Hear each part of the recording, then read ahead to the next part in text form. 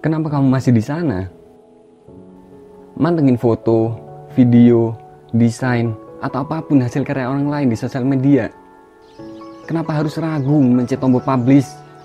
Teman-temanmu tak akan peduli, keluargamu tak akan peduli, bahkan aku bertaruh, mantan pacarmu juga tak akan peduli. Kalau kamu tanya, bagaimana kalau teman-temanku menganggapku konyol? Teman macam apa? Kalau mereka benar-benar seorang teman, mereka nggak akan menganggapmu seperti itu. Kamu berkarya bukan untuk menghitung likes, comments, atau banyaknya views.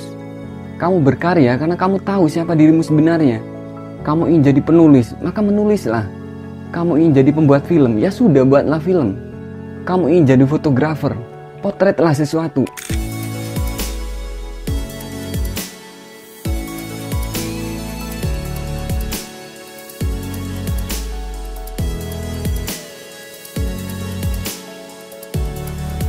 Betapa banyak orang di luar sana punya kamera tapi nggak punya karya, punya kuas dan kanvas tapi nggak menghasilkan lukisan, punya piano tapi dibiarkan berdebu.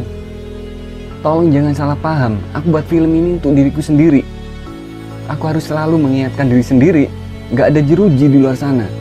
Aku bisa pergi ke mana saja, membuat apa saja yang aku suka, merekam apa pun yang menurutku indah.